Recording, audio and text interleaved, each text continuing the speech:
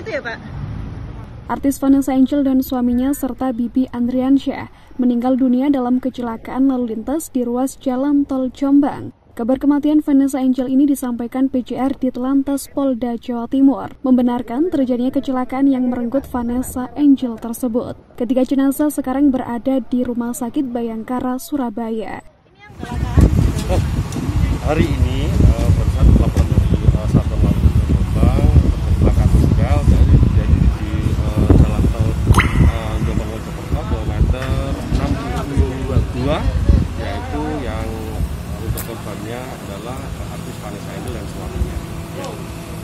Untuk kondisinya saat ini bagaimana dan? Untuk kondisinya saat ini uh, tadi dilaporkan oleh uh, anggota di lapangan bahwa Vanessa dan suami um, yaitu meninggal dunia.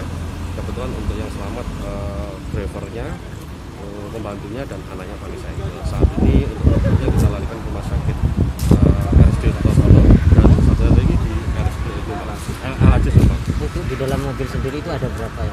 Lima, lima.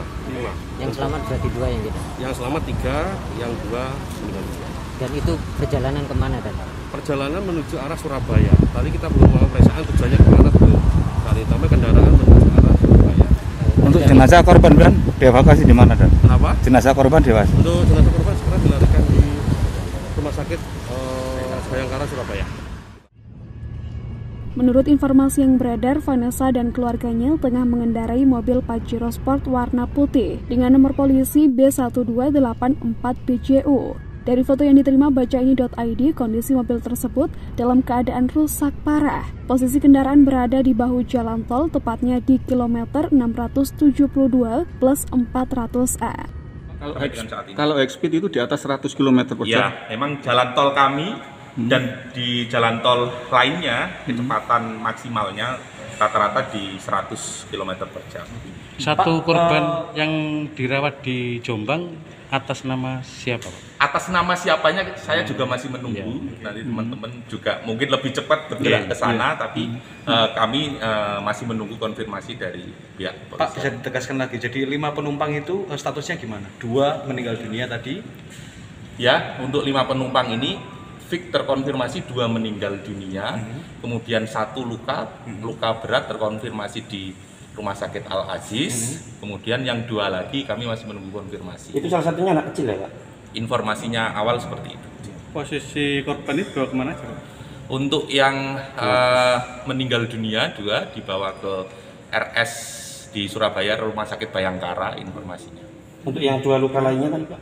Eh, informasinya untuk yang satu dibawa ke Al Aziz, Yang dua? kemudian yang dua eh, meninggal dunia, kemudian yang dua lagi eh, belum terkonfirmasi dari pihak kepolisian, tapi informasi awal sih selamat dan di, di, ditolong oleh pengguna jalan lain. Nama Tidak serius. Intinya masih bagus lah.